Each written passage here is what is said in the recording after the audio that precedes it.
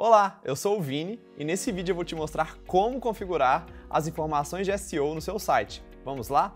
A sigla SEO significa Search Engine Optimization, que em português quer dizer otimização para ferramentas de busca. Essa é uma técnica que serve para deixar as páginas mais atraentes, tanto para o Google quanto para outros mecanismos de busca.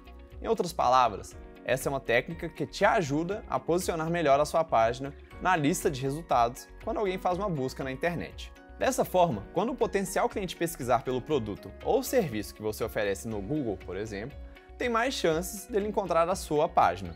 Para aplicar essa técnica na sua página e torná-la mais bem posicionada nas ferramentas de busca, você vai clicar aqui no ícone de engrenagem. Em seguida, clique em Informações de site. Nessa guia, você vai encontrar seis opções de configurações para otimizar diversos pontos da sua página. Esses pontos são título da página, descrição, palavra-chave, URL de compartilhamento, imagem de compartilhamento e favicon. Aqui, no título da página, você vai escrever o nome que vai aparecer na aba do navegador quando o visitante fizer o acesso na sua página. Esse nome também vai aparecer no Google quando alguém pesquisar pela sua página. Aqui no meu exemplo, eu vou colocar como título da página o nome 5 dicas do marketing digital.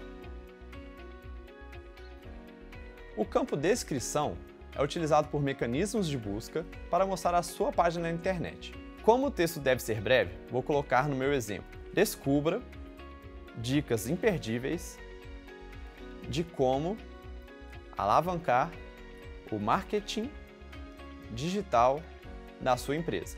Pronto, essa é a descrição da minha página. Aqui, em palavras-chave, você deve adicionar palavras que tenham relação com o que você está ofertando na sua página. Seguindo o meu exemplo, eu vou ofertar um e-book com dicas de marketing digital. Nesse caso, vou inserir as seguintes palavras-chave, sempre separando elas com ponto e vírgula. Vou colocar marketing digital, dicas, e-book e também uma dica é sempre colocar o título da página como palavra-chave.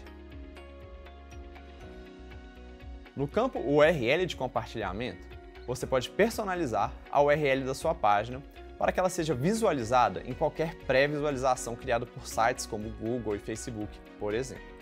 No meu caso, eu vou simplesmente copiar a URL da minha página e agora vou colar aqui no campo. A opção Não indexar página serve para caso você não queira que ela seja encontrada por mecanismos de busca. No meu caso, eu vou deixar essa opção desmarcada, do jeito que está, porque eu quero que minha página seja encontrada por mecanismos de busca.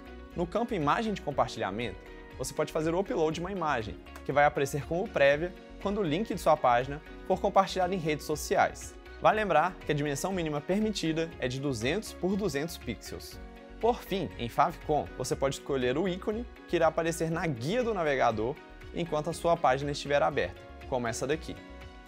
Depois de clicar em salvar, basta publicar a sua página para conferir o resultado. Viu só como é fácil? Com essas dicas, eu espero que você tenha muitos acessos com a sua página. Bom, eu fico por aqui, abraços e até a próxima!